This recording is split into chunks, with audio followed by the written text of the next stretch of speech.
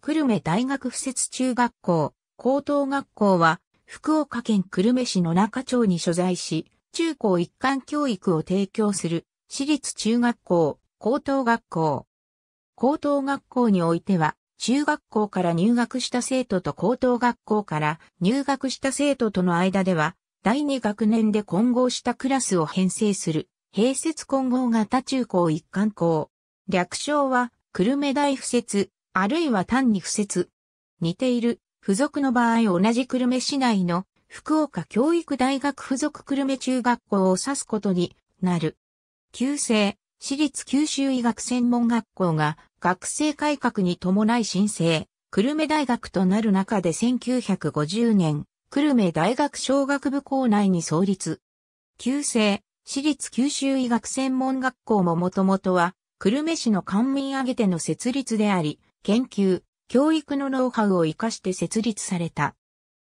創立にあたり、久留米大学初大学長兼第三代理事長、小野寺直介は、久留米大学に進学する性格の学校ではなく、また男子校である必要性、心身の鍛錬のため、文武両道の必要性、受験にとらわれずに純粋に学問を探求し、志望校に合格できるだけの力をつける必要性、教師、校長の人材の必要性を唱え、九州大学医学部教授、板垣正美で同僚を初代校長として、昌平、旧制中学教育の良い面を継承し、戦後復興と平和に貢献できる人材の育成を目指した。その気球は校歌の歌詞にも歌われている。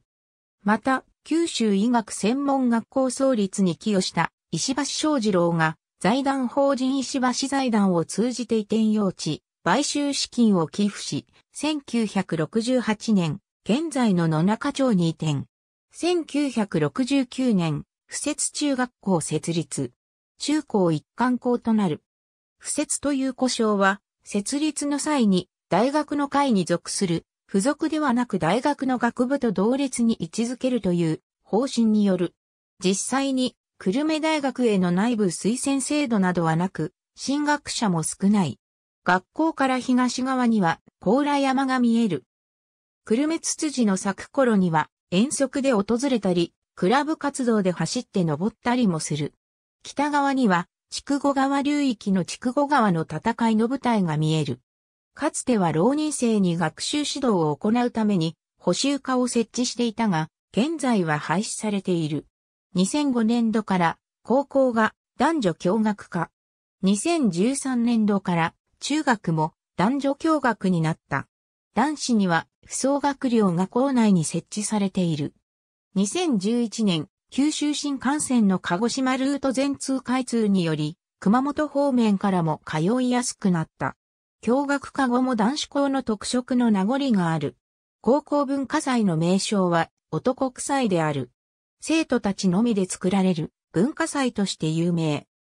なお、男祭の名称は、久留米の方言で標準語の修助詞、関東市の差を、祭、臭いあるいは草ということから来ており、男だ。くらいの意味であるが、もちろん男臭いにもかけてある。なお、もともとは、久留米大学の学園祭、あの臭いから来ている。一学年は、中学160名、高校200名であり、高校入試で40名を募集している。創立以来ずっと男子のみの募集だったが、高校は2005年度から中学は2013年度から女子を受け入れるようになった。2005年度の高校教学科の際は、一部の OB、教員、生徒会などからかなりの反対意見があったものの、高校からの入学者の学力水準を維持することとなり、さらに2013年度の中学教学科により、高校での運営形態が中学でも実現できる、なかなか一貫教育となった。不総学寮という男子寮を校内に設けており、男子は九州全域をはじめ、日本全国からの入学者がいる。中3で卒業論文制作に取り組み、夏休みまでに完成させる。完成した作品は、校内で部門ごとに審査し、表彰式や作品展などを開催している。全国学芸、サイエンスコンクールや日本学生科学賞などに応募することもでき、例年数々の入賞を果たしている。高校からの入学者は1年時は別学となり、全生徒がこの時点で地理科、日本史の社会科を選択履修する。2年に進級した際、5クラスを混合して文系、理系クラスに分けられる。高3の6月でほぼすべての課程が終わる。高3では学校独自の校内模試が年に4回ある。芸術総合選択中2から3で週3時間、高1で週2時間、3年間にわたって一つのコースを履修する芸術総合選択の授業がある。絵画、美術工芸、陶芸、書道、声楽、器楽から選択する。特別講座講3の6時間目授業終了後に希望者対象に設けられた大学入試問題をもとにした問題の演習授業である。内容は東大、旧大などの大学別、科目別に分かれており、英語に関しては理系を対象とした標準英語、基礎英語といったものから文系向けの難関大英語や東大英語、旧大英語といった講座まで幅広く網羅している。歌会視聴期休暇の課題として、同校元教諭で、佐藤佐太郎の門人である大鶴隆の指導のもと、短歌作りを定めている。歌会師ではたびたび生徒が入選や佳作に選ばれている。中高とも体育祭、送別球技大会等の行事を生徒会の総務委員会が中心となって運営する。会長選挙は中学が9月頃、高校が5月頃、中学中学の選挙には、会長候補と議長候補が立候補し、当選後、会長による副会長、議長、副議長、書記長、書記、会計長、会計の任命によって10名からなる総務委員会が発足する。